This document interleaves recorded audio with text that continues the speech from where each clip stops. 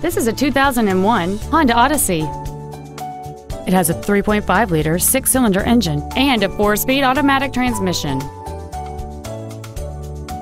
All of the following features are included aluminum wheels, a power driver's seat, cruise control, a six speaker audio system, a four wheel independent suspension, a rear spoiler, an illuminated driver's side vanity mirror, a traction control system, heater vents for rear seat passengers, and an anti theft protection system.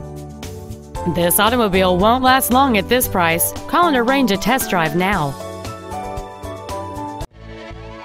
Liberty Ford is dedicated to doing everything possible to ensure that the experience you have selecting your next vehicle is as pleasant as possible.